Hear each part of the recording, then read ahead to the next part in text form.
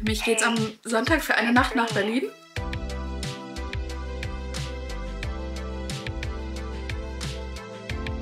Alles, was ich dachte zu wissen, konnte ich wieder streichen. Die spielt gerade You're Losing Me.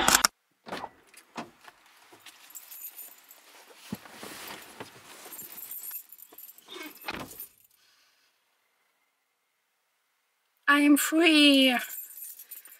Ah. Boah, ich kann jetzt nicht sagen, dass die Klausur so optimal war. Und damit Hello Friends und Welcome zu einem neuen Video von mir. Wie ihr am Titel schon erkennen konntet, ich vlogge heute nochmal, denn ich bin tatsächlich seit 10 Minuten prüfungsfrei. Ich habe gerade meine letzte Klausur geschrieben. Ich kann jetzt nicht sagen, dass ich so ein gutes Gefühl habe, also es würde mich jetzt vielleicht nicht wundern, wenn ich die nächstes Semester nochmal schreiben muss. Also, hm, nee, ich fand es jetzt irgendwie nicht so geil. Aber erstaunlicherweise habe ich dennoch irgendwie gute Laune. Wahrscheinlich liegt es daran, weil ich jetzt wirklich erstmal frei bin und nicht nach Hause fahren muss und lernen muss, sondern ich jetzt wirklich chillen kann und lesen kann. Und deswegen vloggen wir jetzt auch direkt wieder. Ich stehe gerade tatsächlich auch noch auf dem Parkplatz vor der Uni. Ich werde jetzt nach Hause fahren und dabei einfach ganz laut Taylor Swift hören und alles vergessen. Oh mein Gott. Erstmal kein Uni-Stress mehr. Oh.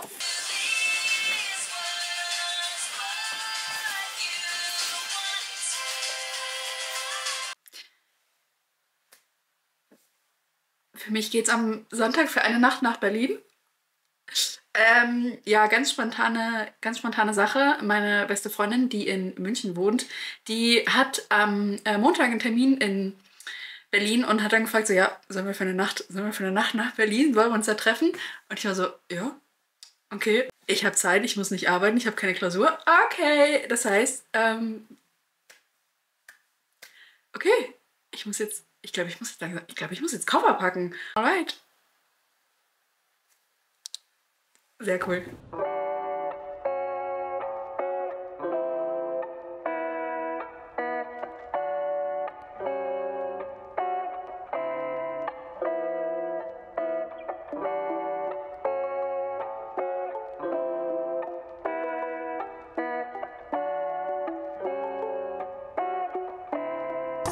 Ich habe das Lied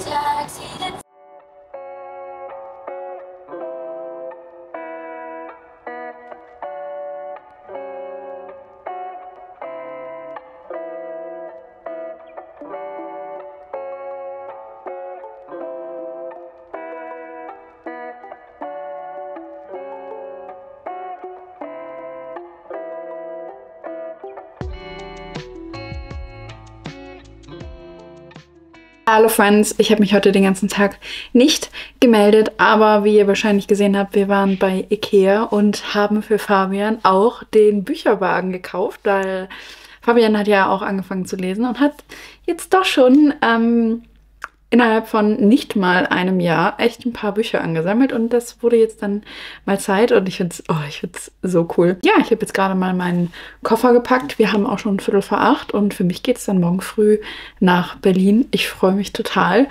Und dann lernt ihr auch mal Vanessa kennen. Das wird, das wird sehr, sehr, sehr cool und vor allen Dingen werde ich auch definitiv die Zeit im Zug nutzen, um ähm, Book Lovers auszulesen. Also ich habe auch wirklich nicht mehr viel. Das sind vielleicht noch knapp 100 Seiten oder so. Ja, ich würde sagen, wir sehen uns morgen in Berlin. Wie crazy.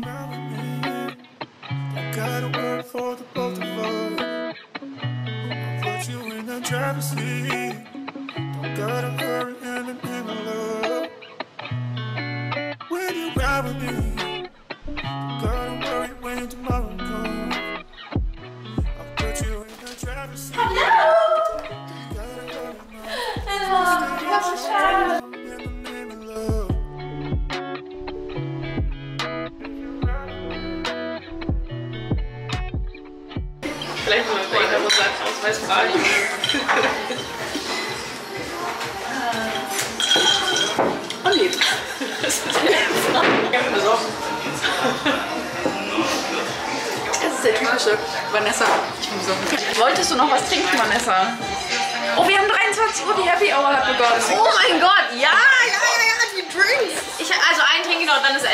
Ja, ja, ich auch.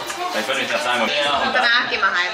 Kann es eigentlich sein, dass wir die zweite Happy Hour jetzt gekriegt Ich weiß es auch nicht. Wir wollten nur drei trinken. Also, schmeckt. Ja. Tschüss.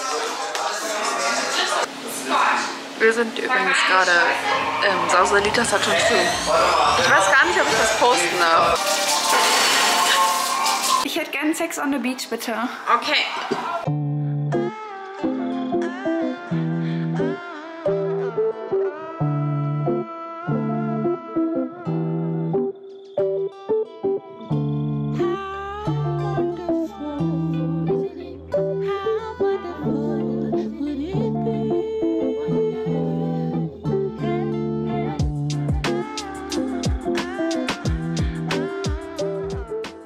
Hallo, ich lebe noch. Ich habe mich noch gar nicht persönlich hier gemeldet, seitdem ich in Berlin bin. Ähm, ich bin gestern wirklich einfach nur noch angekommen und ich habe auch, glaube ich, gar nicht viel gefilmt, weil ich halt einfach die Zeit mit Vanessa nutzen wollte. Und ähm, ja, wir sind gestern Abend was trinken gegangen und dann waren wir irgendwie erst um 3 Uhr nachts wieder im Hotel. Weiß jetzt auch nicht, wie das passieren konnte. War auf jeden Fall ein sehr wilder Abend, war sehr ähm, lustig. Meine Snapchat-Memory ist auf jeden Fall ähm, voll. Ich glaube, wir haben auch ein bisschen was mit der Kamera gefilmt. Weiß ich jetzt nicht, ob, ob man das so im Internet zeigen kann. Das muss ich mir, glaube ich, jetzt nochmal anschauen. Ich bin ehrlich gesagt auch ziemlich am Arsch. Ähm, Vanessa ist gerade ähm, bei ihrem Meeting. Ich habe mich jetzt komplett ready gemacht und werden jetzt auch aus dem Hotel auschecken und dann treffen wir uns gleich, wenn sie fertig ist, in der Stadt und dann gehen wir hoffentlich etwas essen. Alkohol, Alkohol ist nicht gut, Freunde. Alkohol ist nicht gut, Freunde. Aber dafür, dass es doch relativ viel war, Entschuldigung, ähm, und ich eigentlich kein, nicht so gut Alkohol vertrage, würde ich sagen, und halt auch eigentlich seit September keinen Alkohol mehr getrunken habe, habe ich es ganz gut aufgenommen, muss ich tatsächlich sagen. Also dafür.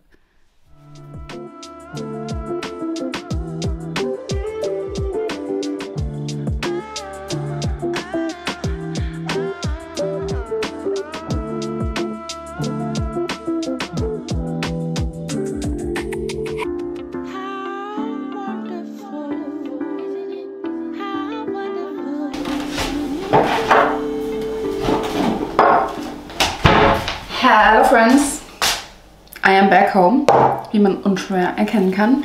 Ähm, ja, kurzes Update.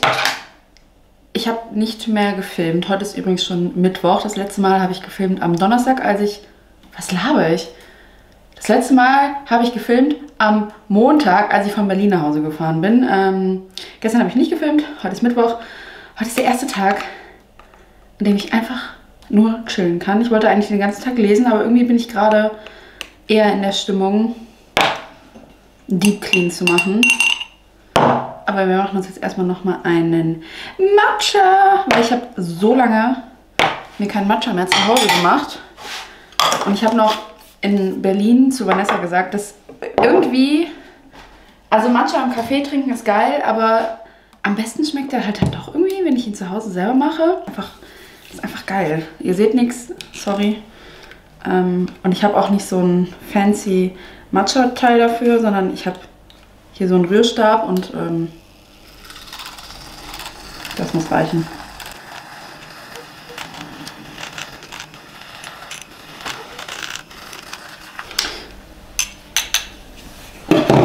So, zum Glück seht ihr das jetzt nicht, weil ich werde das auf jeden Fall nicht schaffen, das nicht komplett daneben zu kippen. Und das ganze Glas ist so fucking heiß. Okay, wir lassen das Glas erstmal abkühlen. Ich brauche mal eine Milch.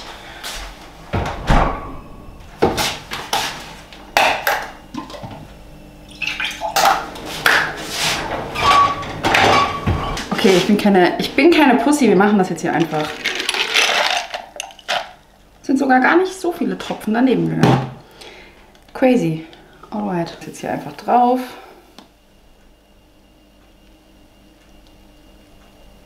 mein Matcha eigentlich ganz anders. Ich weiß nicht.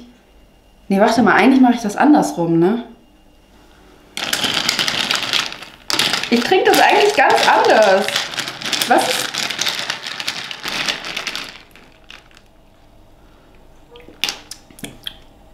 Aber ist okay.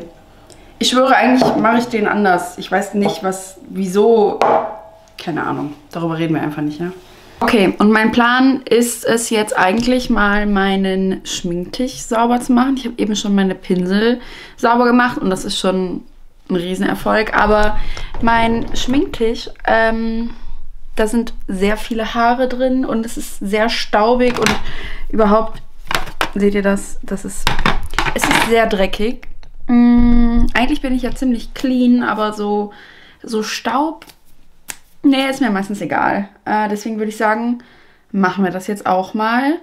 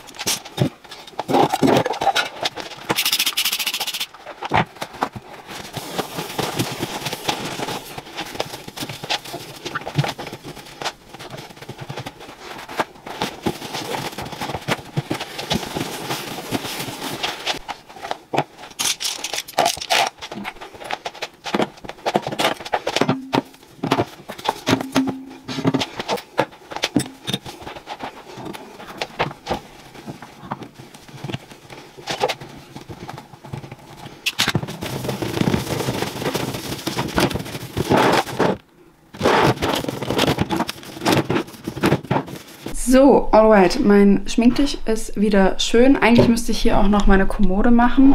Also hier ist so Skincare, weitere Lidschattenpaletten drin. Aber da habe ich jetzt gerade keinen Bock mehr drauf. Deswegen werden wir jetzt mal mein Bücherregal umräumen. Ich habe hier schon den Wäschekorb, weil ich werde die jetzt einfach in den Wäschekorb räumen und die dann so nach unten tragen. Das ist nämlich leichter. Und dann werde ich die unten wieder reinräumen, damit ich den Platz wieder frei habe. Ich frage mich, wie oft ich das noch machen werde, solange ich noch hier wohnen werde. Wahrscheinlich ein paar Mal.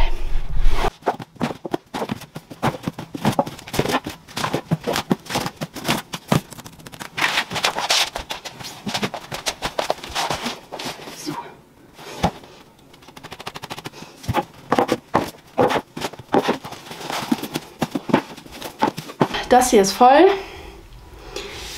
Ich werde auf jeden Fall Rückenprobleme bekommen, sobald ich das in den Keller getragen habe, aber ich würde sagen, wir räumen das jetzt mal in den Keller. Oh Gottes Willen. Oh.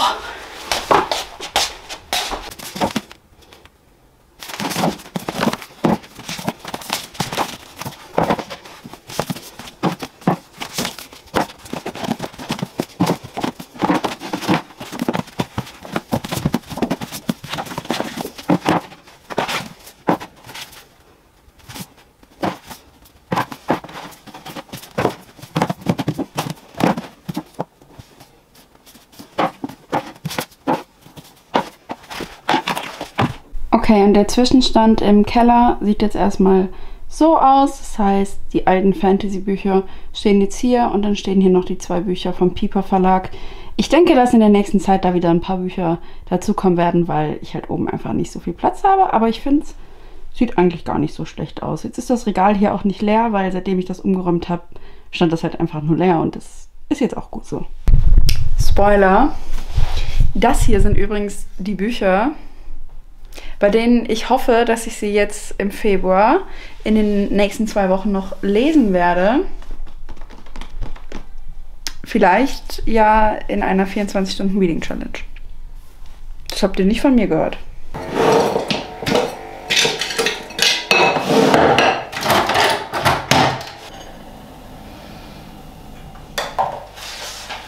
Good morning, friends. Got my coffee. Wir haben mittlerweile auch schon halb eins oder so. Also ich bin heute übrigens im Homeoffice. Ich muss heute arbeiten, deswegen habe ich mich noch nicht gemeldet. Ich mache mir jetzt auch den ersten Kaffee. Wirklich, seitdem ich in der Klausurenphase war, muss ich irgendwie jeden Tag Kaffee trinken. Das ist eigentlich überhaupt nicht gut, weil ich davor nie Kaffee getrunken habe und dann, wenn nur, wenn ich irgendwie unterwegs war und im Café war. Aber jetzt mache ich mir irgendwie jeden Tag einen. Ich weiß auch nicht, ob ich mir das wieder abtrainieren soll oder ob ich es ob jetzt einfach so hinnehmen soll, dass ich jetzt jeden Tag einen Kaffee trinken will. Keine Ahnung. Übrigens, ähm, ich weiß nicht, ob man es erkennen kann, aber ich habe meine Haare heute ein bisschen anders. Äh, meine Mama hat sich den Shark gekauft. Das ist ja eigentlich ein Dyson Dupe, aber auch nicht besonders günstig. Also ich glaube, der kostet auch irgendwas mit 200 irgendwas Euro. Keine Ahnung. Meine Mama hat sich den gekauft. Und ich habe den heute das erste Mal benutzt. Ähm, ich muss sagen, das ist definitiv Übungssache. Also ich würde auch nicht sagen, dass ich besonders talentiert war, was so ähm, meinen ersten Versuch angeht. Aber dafür, dass es mein erster Versuch war und ich eigentlich sonst ziemlich unfähig bin, irgendwas mit meinen Haaren zu machen, hat es eigentlich ganz gut funktioniert. Ne? Also ich habe halt wirklich leichte, leichte Locken und ich finde es eigentlich, ganz, eigentlich ganz süß. Also ich glaube, mit ein bisschen Übung kann man das wirklich, wirklich schön machen. Vor allen Dingen, weil ich halt nie so Locken habe, sondern ich mache das ja immer nur mit der Rundbürste. Und jetzt würde ich sagen, arbeiten wir weiter. Wir machen mal ein kurzes Update zu Band 5 von Me. Ich habe gestern gestartet auf Seite 75. Ich bin jetzt auf Seite 300. Das gestern, das hat sich angefühlt wie ein Fiebertraum, weil auf jeder Seite irgendwelche neuen Informationen kamen und alles, was ich dachte zu wissen, konnte ich wieder streichen, weil also wirklich ihre Vergangenheit und was da alles rauskam und also wirklich mind blown. Ich habe jetzt nur noch 60 Seiten. Ich habe wirklich Angst. Ich habe wirklich Angst. Ich habe keine Ahnung, was hier jetzt am Ende noch passieren soll. Ich weiß nicht, ob ich dafür bereit bin. Aber ich werde es jetzt lesen.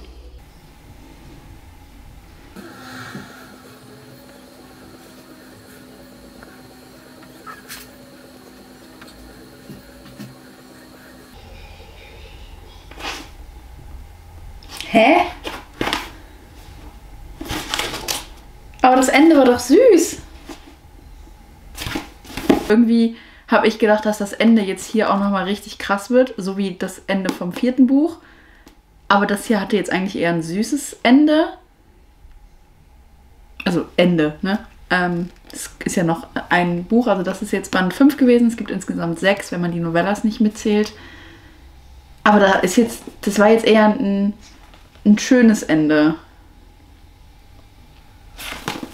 Ich habe ich hab nur noch ein Buch. Also nur noch ein Buch in der Hauptstory und dann ist es vorbei. Und ich will nicht, dass es vorbei ist.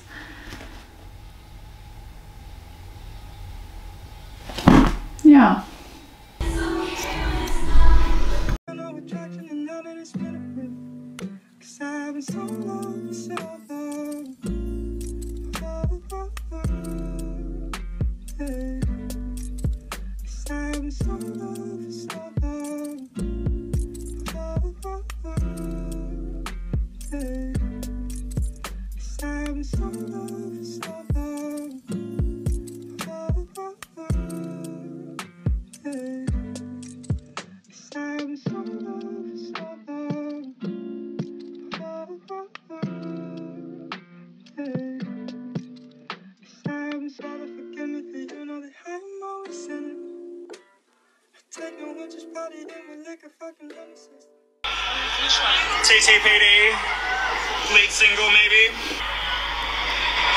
Ich habe Angst. Welcome to the acoustic section. Every night I do two different songs, ones that are not a part of the set list, and uh, I'm just gonna do one of my favorite ones.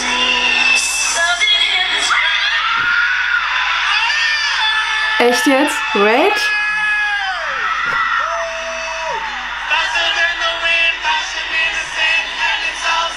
Ja, es ist okay. Es ist okay. Es ist okay. Es ist nicht in meinen Top 5 gewesen. Aber wäre schon cool gewesen.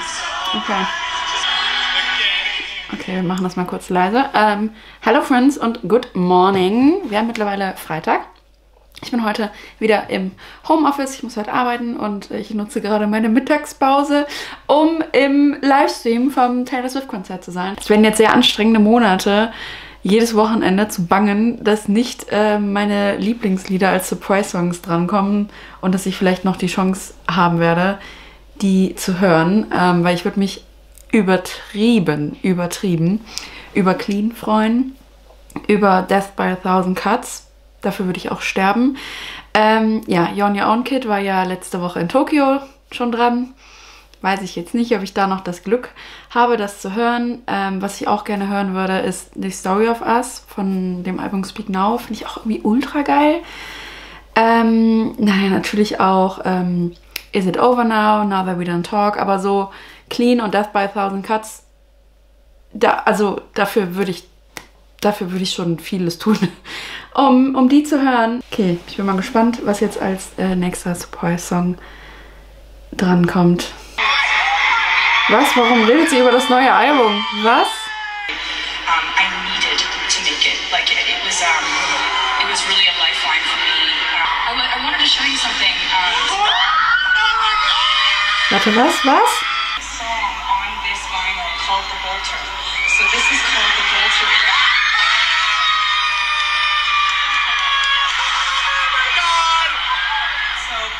wanted to show that to you here in Melbourne because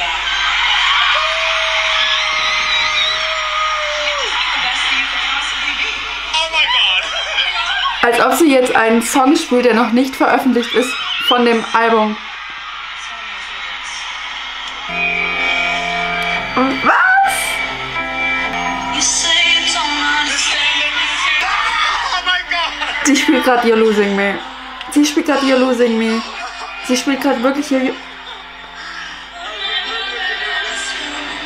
Habe ich gerade geweint? Nein!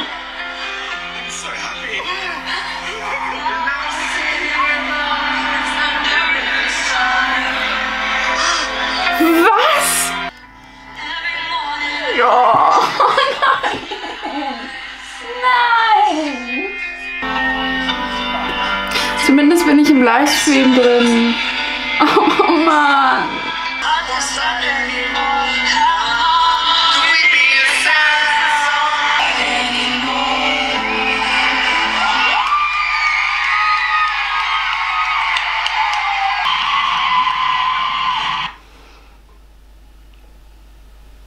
Ich bin heartbroken. Ich bin absolut, absolut heartbroken. We are back. Der nächste Tag, die nächsten Surprise-Songs. Nach gestern habe ich echt Angst.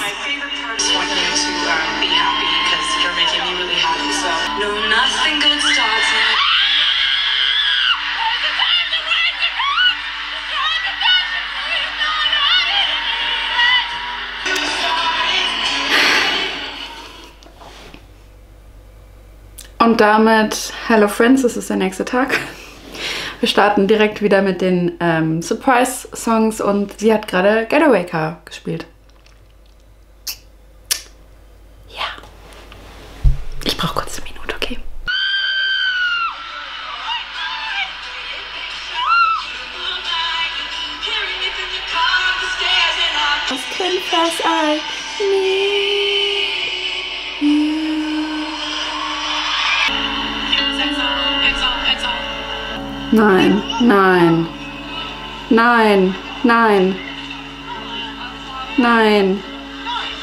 Nein.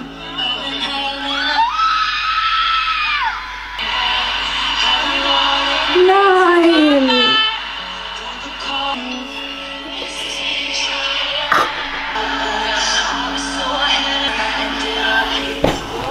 Ciao. Da bin ich wieder. Ich habe ähm, musste jetzt erstmal kurz durchatmen. Ich kann nicht glauben, dass sie Getaway Car mit Mashups gespielt hat und dann This Is Me Trying. Das tut weh. Das tut, das tut wirklich, das tut wirklich. Und You're Losing Me hat gestern schon weh getan, aber das tat auch, das tat jetzt auch schon sehr weh. Oh mein Gott.